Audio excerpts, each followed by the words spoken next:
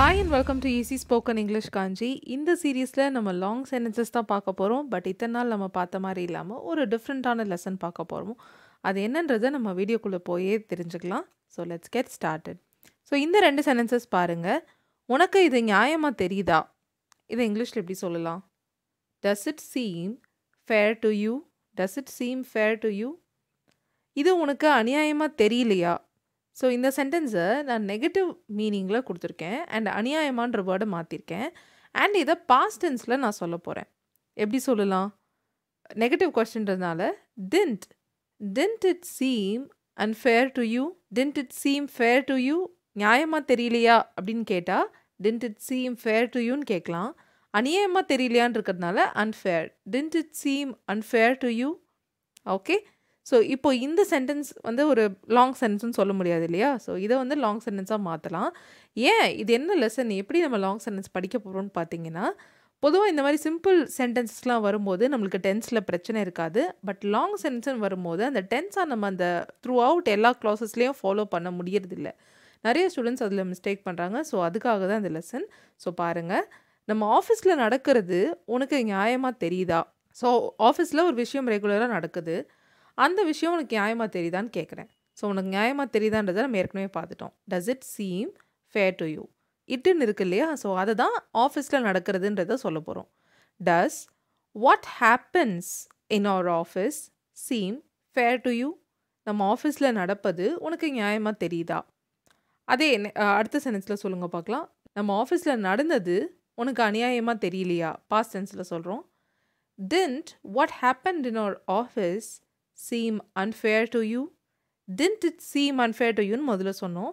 இங்கே இட்டு எடுத்துகிட்டு didn't what happened past டென்ஸ்ன்றதுனால ஹேப்பன்ட் யூஸ் பண்ணியிருக்கோம் didn't what happened in our office seem unfair to you so இப்போ நம்ம லெசன் எப்படி இருக்க போகுதுன்னு உங்களுக்கு புரிஞ்சிருக்கோன்னு நினைக்கிறேன். நெக்ஸ்ட் சென்டென்ஸ் போகலாம் உனக்கு அது புரிந்ததா?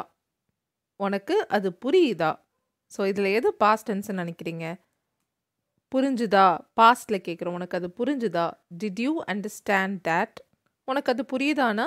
Do you understand that so அதுன்றதை எடுத்துகிட்டு நம்ம ஒரு கிளாஸ் போட்டு ஒரு லாங் சென்டென்ஸாக இதை ஃப்ரேம் பண்ணலாம். உனக்கு அவ சொன்னது புரிஞ்சுதா?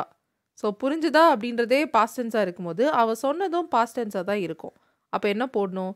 Did you understand what she is சேயிங்கா சேஸா இல்லை செட்டா இல்லை வெறும் Seva said did you understand what she said அவள் சொன்னது what she said did you understand what she said okay அடுத்த சென்டென்ஸில் எப்படி இருக்கணும்? அவள் சொல்கிறது உனக்கு புரியுதா? எப்போவுமே அவள் நிறைய விஷயம் உங்ககிட்ட சொல்கிறா இல்லையா? அதை சொல்கிற விஷயம்லாம் உனக்கு புரியுதா? Do you understand what she says what she says ஏன் இங்கே இஸ் சேயிங் சொல்லக்கூடாதா? கண்டினியூஸ் டென்ஸில் சொல்லக்கூடாதா? சொல்லலாம். ஸோ அப்போ சொல்லிகிட்ருக்கா மேபி ஏதோ ஒரு மீட்டிங்கில் ஒருத்தவங்க பேசிகிட்டு இருக்காங்க ஒரு ஏதோ ஒரு டீச்சர் கிளாஸ் எடுத்துகிட்டு இருக்காங்க உங்களுக்கு உங்களுக்கு அவங்க சொல்கிறது புரியுதா? Do you understand what she is saying அப்படி சொல்லலாம்.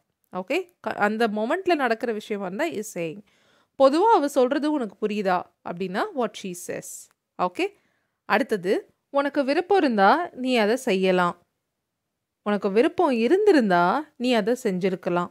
நீங்கள் ட்ரை பண்ணுங்க. ஓகே ஸோ நீ அதை செய்யலாம். யூ கேன் டூ இட் உனக்கு விருப்பம் இருந்தா. If you want to if you want to do it தான். நம்ம ஷார்ட்டாக இப்படி சொல்கிறோம் இஃப் யூ வாண்ட் டுனா உனக்கு விருப்பம் இருந்தா.